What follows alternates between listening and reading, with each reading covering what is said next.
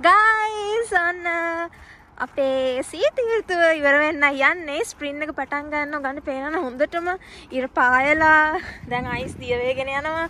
කලිනොත් ඔගලන්ට මතකයි අ, කාලයක් අයිස් දිය වෙලා තිබුණා ප්ලස් ටෙම්පරේචකට ගිහිල්ලා. හැබැයි ආයම මේ වින්ට එක ස්ටාර්ට් කරා මයිනස් 30 වලට විතර ගිහිල්ලා. හැබැයි දැන් නම් ඔන්න ස්ප්‍රින් එක පටන් ගන්න ඇවිල්ලා තියෙන්නේ. ආයම නම් වින්ටකට යන්නේ නැහැ. ස්ප්‍රින් එක දැන් මේ සතිය නම් පටන් ගන්නවා. දැන් ප්ලස් 5 6 7 වලට යන ගමන් තියෙන්නේ. ඉතින් මාර හැපි